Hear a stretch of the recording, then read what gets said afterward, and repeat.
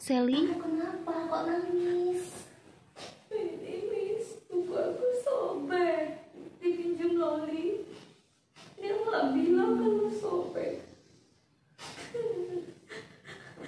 Dia bohong nih sama aku. Dia bilang dari dia pinjam sudah sobek. Padahal enggak loh Miss ini buku baru. Aku sedih banget Miss. Pasti sedih sekali, ya. Miss bantu ya. Miss bantu uh, lemin buku kamu sama cari loli, oke? Ya, kamu tenang. Aku nggak mau pulang Miss, aku takut sama mama.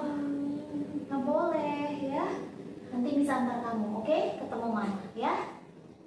Jangan sedih lagi, oke?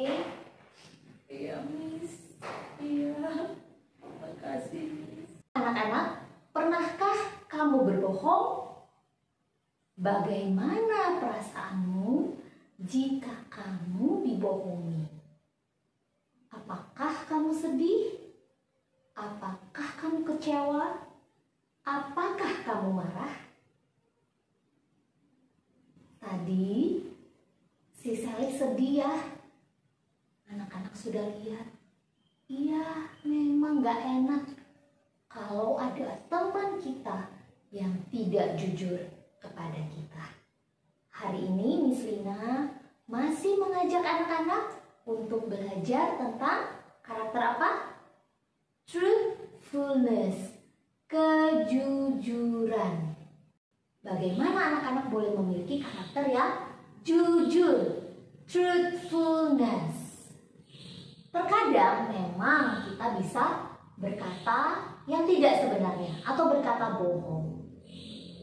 Nah, anak-anak, hal itu bisa membuat teman, orang tua, mama, papa di rumah atau miss-miss di sekolah sedih kalau anak-anak berkata sesuatu yang tidak sesuai dengan keadaan yang sebenarnya. Tuhan juga pernah sedih loh anak-anak, pernah marah ketika manusia mengatakan yang tidak jujur. Waktu di Taman Eden, waktu Adam dan Hawa melanggar perintah Tuhan, yaitu mereka apa waktu itu? Makan buah yang dilarang oleh Tuhan. Waktu itu manusia bersembunyi.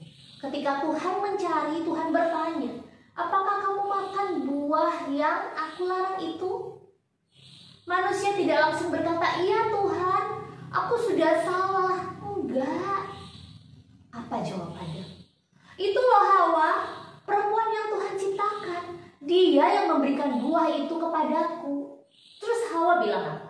Itu loh Tuhan si ular. Ular itu loh yang bohong duluan sampai aku tergoda dan aku makan buah itu. Mereka tidak mengatakan yang sebenarnya. Mereka tidak taat dan tidak jujur kepada Tuhan. Hati Tuhan sedih. Tuhan marah dan akhirnya Tuhan harus menghukum manusia. Nah, anak-anak, kita bisa belajar bahwa Tuhan sendiri tidak menginginkan kita bersikap tidak jujur.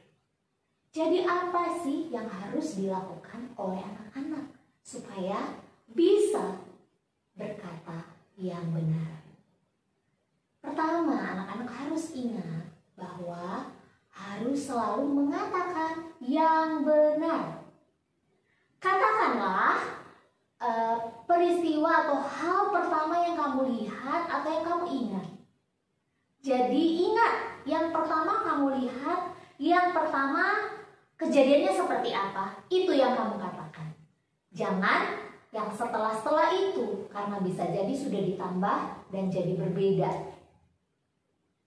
Dan selanjutnya apa? Anak-anak coba, kalau anak-anak ingin mengatakan sesuatu, coba anak-anak berhenti dulu sebentar, pikir. Hmm, ini yang akan aku katakan benar atau tidak? Gitu ya. Coba anak-anak ingat-ingat dan anak-anak pikir, benar nggak ya ini? Kalau itu nggak benar, jangan. Katakan saja yang benar. Dan minta bantuan bisa minta bantuan mama atau guru-guru ya, missnya pasti akan membantu anak-anak untuk bisa mengatakan yang benar. Dan kalau anak-anak bisa mengatakan yang benar, wah teman-teman, miss di sekolah, mama papa di rumah pasti akan senang. Pasti akan bangga dengan anak-anak. Meskipun kalau mengatakan yang benar itu belum tentu enak didengar. Ya, misalnya kayak tadi ya kejadian Sally. Misalnya kalau e, si Molly mau mengaku, si Loli mau mengaku dia cerita, "Ma, aku tuh sudah buat salah loh. Aku sudah buat bukunya Sally sobek, aku harus ganti." Mungkin mamanya pertama dengarnya, "Aduh, kamu kok sobek-sobekin buku orang sih?" Tapi kalau kamu mengatakan dengan jujur dan tulus, orang tuamu juga akan bisa menerima. Dan kamu bisa belajar dari peristiwa itu. Lain kali berarti harus hati-hati. Nah, coba anak-anak pikirkan. Kalau kamu tidak jujur terhadap teman, atau terhadap miss, atau terhadap mama papa, justru mereka sedih. Justru mereka jadi marah. Dan lama-lama mereka nggak mau berteman dengan kamu. Lama-lama mereka menganggap, ah memang kok Sally ya, memang kok Molly itu uh, anak yang gak jujur, aku nggak mau temen sama dia, selalu bohong. Ya, kasihan sekali kan. Akhirnya kamu nggak punya teman. Nah, kalau kamu bisa mengatakan yang benar, bisa menjadi uh, anak yang jujur, maka kamu akan dicintai dan teman-temanmu, orang-orang di sekitarmu juga akan bangga dengan kamu. Jadi hari ini anak-anak belajar apa? Belajar untuk mengatakan yang benar. Ingat, yang benar itu adalah yang utama. Ya, kamu harus uh, belajar untuk berpikir dulu, mengingat kejadian yang sebenarnya sebelum kamu berkata-kata dan berpikir mengingat bahwa oh ya ini benar. Kalau nggak benar, jangan dikatakan. Dan pastinya ini akan membuat temanmu, orang tuamu, dan gurumu di sekolah bangga dengan kamu. Anak-anak mau jadi anak-anak yang jujur? Yes! Tuhan Yesus mendengar, Tuhan Yesus melihat. Mari kita berdoa. Tuhan Yesus, tolonglah setiap anak-anakmu untuk boleh mengatakan yang sebenarnya, untuk boleh memiliki karakter yang jujur, yang tidak menyakiti hati orang lain, hati mama papa, hati teman, hati mis-mis, terlebih hati Tuhan Yesus. Bantulah kami Tuhan, di dalam nama Tuhan Yesus kami berdoa. Amin. Selanjutnya tugas anak-anak apa ya di minggu ini? Wah, anak-anak seru kok. Anak-anak akan menempel stiker pada poster, ya, poster kejujuran. Nanti mama atau papa akan membacakan yaitu sudah ada nomornya, nomor 1 sampai nomor 4.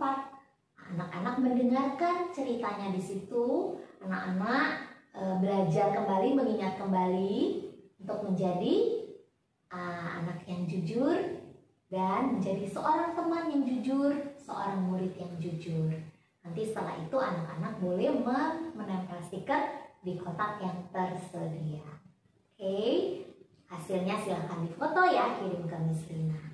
Oke anak-anak, uh, milikilah karakter yang jujur. Tuhan Yesus memberkatimu. Bye.